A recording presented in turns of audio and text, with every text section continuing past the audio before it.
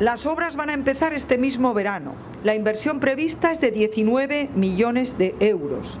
Y esto es lo que cuesta la modificación del trazado de lo que va a pasar a ser una calle de titularidad municipal y lo que va a ser la nueva carretera autonómica que vendrá justamente por el lugar donde ahora mismo estamos. Esta nueva carretera beneficia a todos los ciudadanos del corredor de Lenares.